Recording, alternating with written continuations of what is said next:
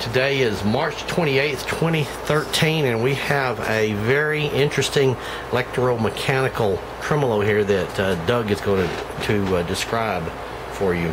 Yeah, David, uh, about six months ago in Vintage Guitar Magazine, they had a story about a very early DeArmond electromechanical tremolo unit. It's probably one of the first pedal devices for guitars. And uh, I thought, well, I'm going to bid on one on eBay and get one. And when the bidding went north of $500, I decided maybe it'd be best to make one. So starting with a clean sheet of paper, I just designed this unit and made it. And the way it works is there is a copper tank filled with a liquid. There's an electrode. There. Yeah. There's the little copper tank. This is the electrode going in. This is a plexiglass uh, lid for the tank so it insulates the electrode from the copper tank. The copper tank is grounded through the green ground wire to uh, through the plug that connects this to the uh, AC wall unit.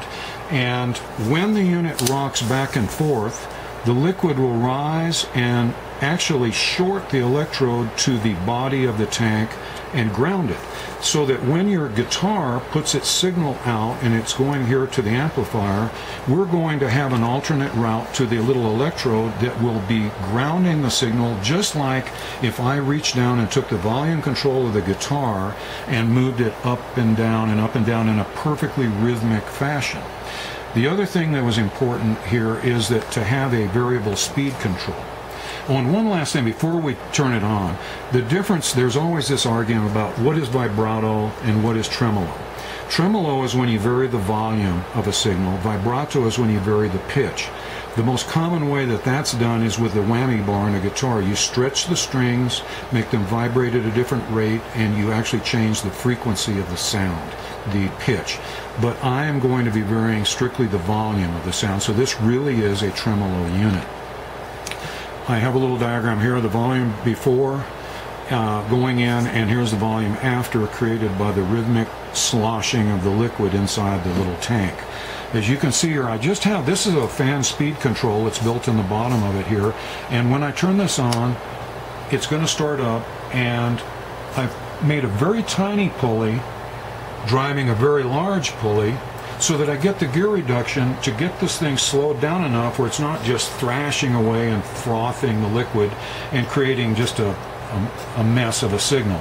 I want a smooth rhythmic signal. Now I've got this set, this is as fast as it goes. Then I can alter this down to where it is very slow. And if you want a real swampy type of tremolo, you'd run it really slow like this. If you want the more common type, you could run it in the middle. And then if you want um, a higher speed tremolo, you run the thing wide open like so. You can see the little tank, and you can imagine inside the water is frothing around. Well, actually, hopefully not frothing. It's um, sloshing around in here and grounding the little electrode every time it's down. The liquid then would be up on it. Uh, there's a big debate about what's the fluid you use in these tanks and everybody said Windex, so I tried Windex. Unfortunately, the Windex uh, offers almost very little resistance, and you end up losing all your volume, and then the Windex froths, and you lose everything. So, and I don't know why they everybody suggests Windex. I use distilled water. You get the minimum reduction in volume and a nice smooth uh, variation in your volume. Let's set it up, let's hook it up to an ohm meter and show exactly how this thing works uh, with a uh, analog meter. Okay, I'm going to turn it off. We'll plug in our meter here. I have a capacitor back here that cuts down a little bit on the extraneous noise and I'm going to jumper that oh, jumper that capacitor here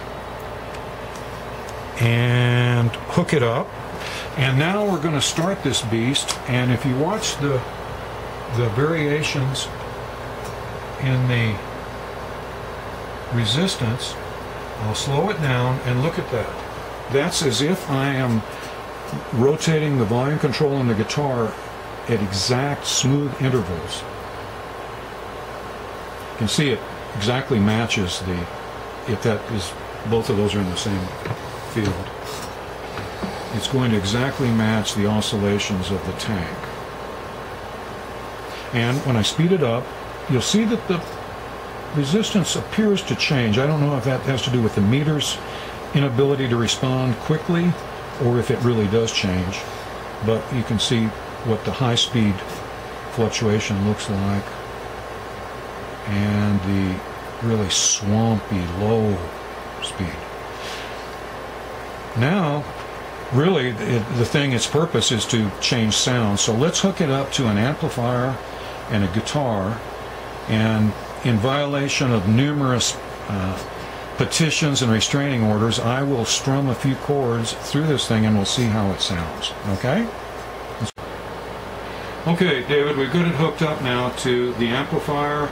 We're running the signal, the guitar signal through the device uh, to be grounded rhythmically and reduce the volume.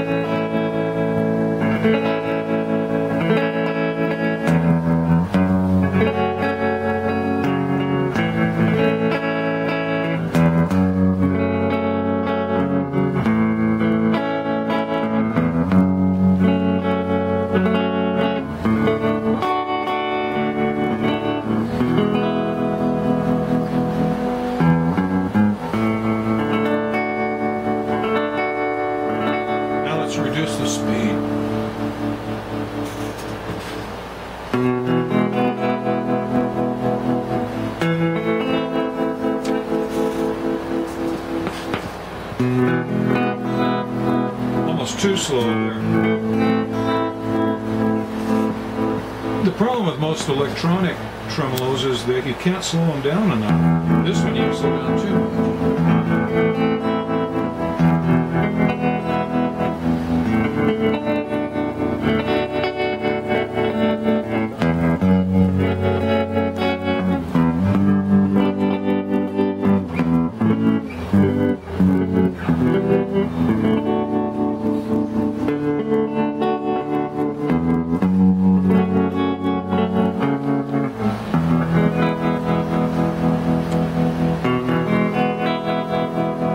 It's a really nice throbbing, if it's okay to use that word in association with tremolo, but it throbs.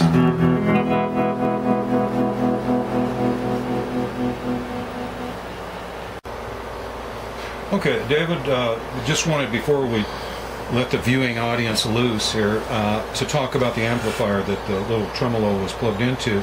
This is one that I made at home just from scratch, and um, it's based on a very, very early Princeton chassis, the 5F2A chassis, which is really more or less a Fender Champ with a tone control.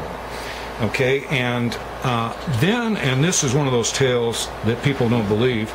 In a trash pail, I found a original Jensen C10N speaker with the original cone and everything, which is absolutely perfect for this amp. So you get the circuit is the exact circuit from the early 60s.